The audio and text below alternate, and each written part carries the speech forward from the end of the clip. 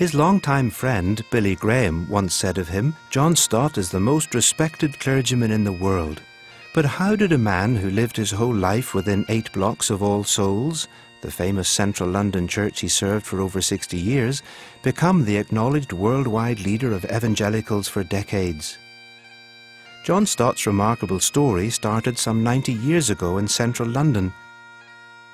He was born in Harley Street on April the 27th, 1921, the son of Sir Arnold and Lady Lily Stott. John showed early academic ability, going off to rugby school at the age of eight.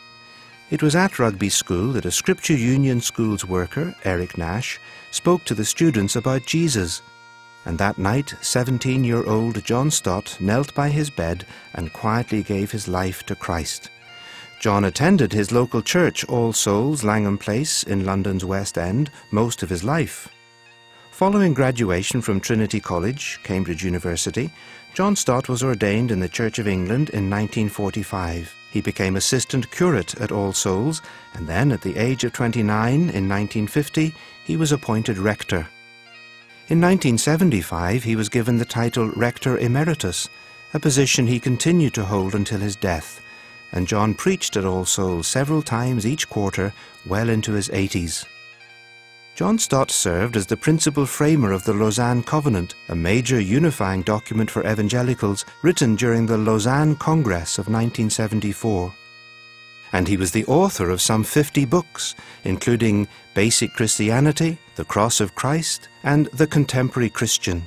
As Rector Emeritus of All Souls Church, John Stott travelled extensively, and often he would ask church leaders in majority world countries what their greatest need was. And they said, Help our pastors to teach and preach the Bible effectively. Responding to that request, John Stott founded the Langham Partnership International, known in the United States as John Stott Ministries.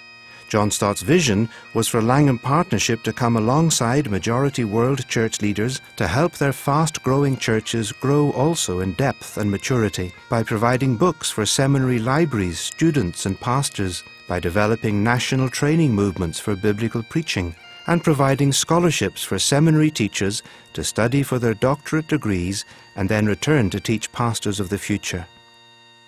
Recently granted the title of CBE, Commander of the British Empire, by Her Majesty Queen Elizabeth, and selected by Time magazine as one of the hundred most influential people in the world, John Stott was known simply as Uncle John by Christians worldwide. He loved serving the global church and encouraging Western Christians into a partnership of learning and sharing together with sisters and brothers in Christ all over the world.